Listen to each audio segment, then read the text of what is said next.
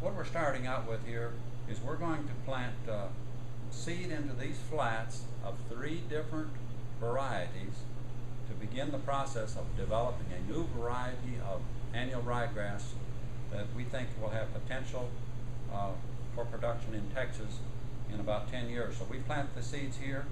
We plant about uh, 200 seed of each of these three different varieties. We'll transplant that to the field uh, later on, and then we'll let those grow up, cross-pollinate, and they will produce seed, and then we'll begin a selection process over the next several years.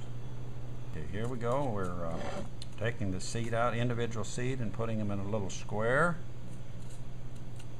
to get uh, individual plants. And then the next process is we will water that, get that seed to germinate and come up.